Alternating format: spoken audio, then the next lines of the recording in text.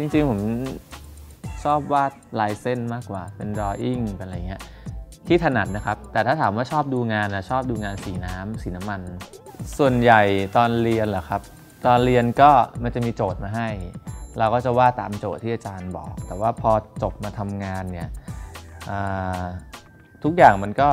อยู่ที่คอนเซปต์หรือว่าอยู่ที่ที่ที่ธีมของมันว่าเราจะออกแบบตามไหน แต่ถ้าถามว่าตอนนี้ถ้าเราอยากจะวาดเองเนี่ย ก็ความรู้สึกล้วนๆอยากวาดอกไม้ก็ดอกไม้ในจินตนาการของเรา หรือว่าอ่าเป็นภาพอะไรเป็นภาพแอบสแตรกที่ไม่มีความหมาย เราก็เน้นเรื่องสีเน้นเรื่องอะไรมากกว่าตามความรู้สึกของเรา ก็ไม่ไม่ถึงขนาดเป็นศิลปินขนาดมีแรงบันดาลใจขนาดนั้นนะฮะ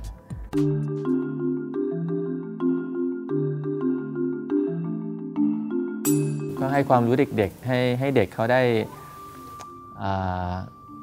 ทำในสิ่งที่เขาอยากทำบางคนวาดรูปไม่เป็นแต่พอมาเรียนแล้วก็พัฒนา แล้วก็ส่วนตัวผมเองก็ก็คือได้รับความสุขจากตรงเนี้ยจากเด็กๆที่เขาตั้งใจมาเรียนเวลาสอนเวลาอะไรมีความสุขกันหัวเราะกันแซวกันอะไรอย่างเงี้ยเป็นตรงนั้นมากกว่า ก็ตอนที่นั่งกินข้าวด้วยกันครบพร้อมหน้าพร้อมตาอะไรเงี้ยคือเปิดทีวีแล้วก็ช่วยกัน ทำกับข้าว แม่ก็ทำกับข้าวเราก็จะช่วยยกมาวางอะไรอย่างเงี้ยประมาณนั้นแล้วก็นั่งกินข้าวด้วยกันตอนเด็กๆ ซึ่งซึ่งตอนนี้มันไม่ไม่มีแล้ว ในครอบครัวผมทั้งพ่อทั้งแม่เลยก็คือ จะจำได้เขาจะชอบบอกว่า ห้ามไปขโมยของห้ามอะไรอย่างเงี้ยแล้วพ่อแม่เป็นข้าราชการก็ค่อนข้างที่จะแบบซื่อตรงอะ่ะเป็นคนแบบไม่ค่อยชอบการ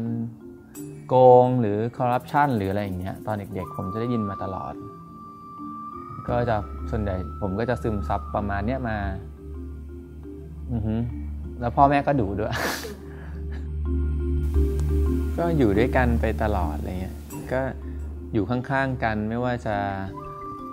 ทุกข์จะสุขอะไรยังไงก็อยู่ข้างๆกันไว้ ไม่ทิ้งกันอะไรเท่านี้พอละอือฮึ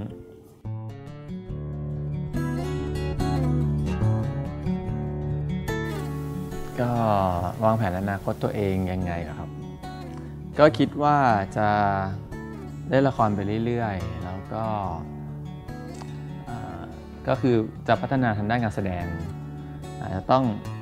เรียนเพิ่มเติมหรือว่าได้รับบทใหม่ๆ ก็ศึกษาให้เรื่อยๆให้ให้ได้ความแปลกใหม่ในการแสดง เพื่อให้คนดูได้